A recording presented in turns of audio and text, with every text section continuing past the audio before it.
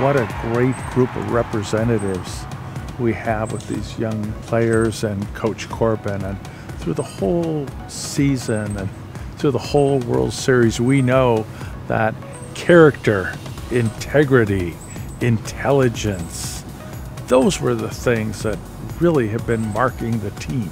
Particularly when you see the talents of these kids, you know, to hit, to throw a ball like that, and then to go to school here and, you know, compete academically in everything that you do, on the field, off the field. You exemplify the very best of Vanderbilt in college sports, and you are the Vanderbilt way. Anchor down.